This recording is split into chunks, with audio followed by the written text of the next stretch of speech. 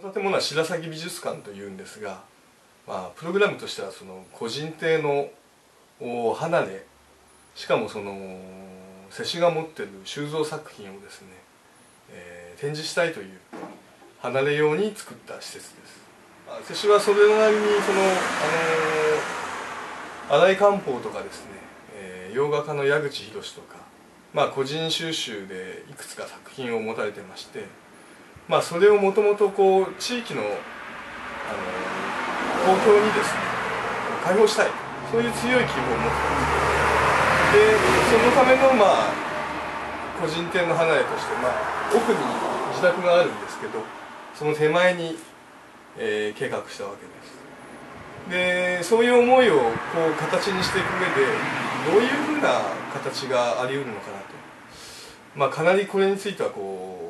そういう強い気持ちを持ってる世襲なんで何度も話し合いました。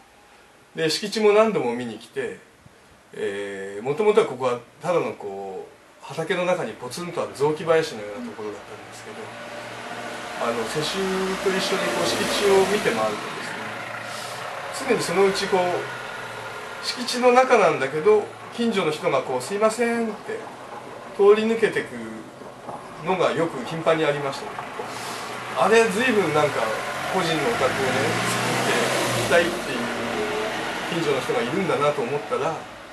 えーまあそれには話がありまして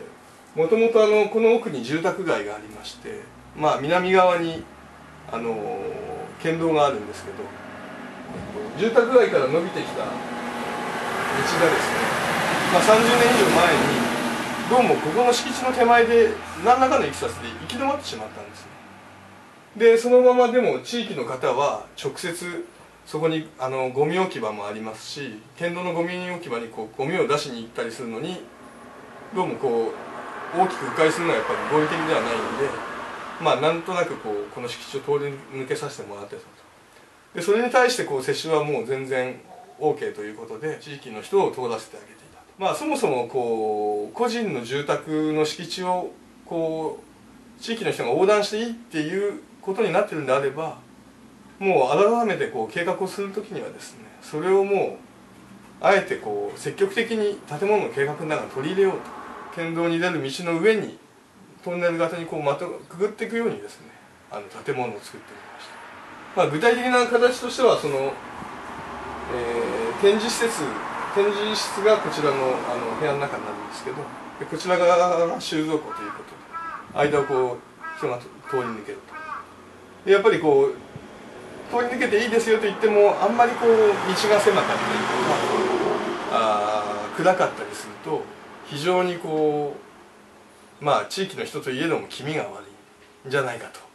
でそういうことにも応えるために、まあ、間口は広くしようと。ただまあ入ってみるとやっぱり個人のスケールでしつらえられてないとこうもちろんコストもかかるしあの維持管理もなかなか難しいんで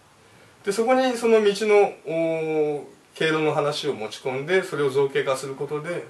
まあ、こういう外見にはですね大きく間口を開いてるんですけどこう中に入ってくるとちょうどこう人間の住宅のスケールになって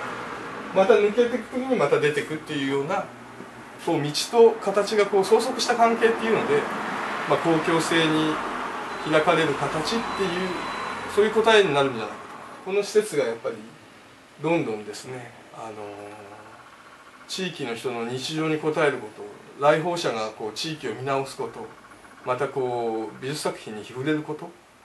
それらをこうひっくるめてですね一つのこうある動きの中にあのにぎわいを持ってくれればいいかなというふうに考えて計画しました。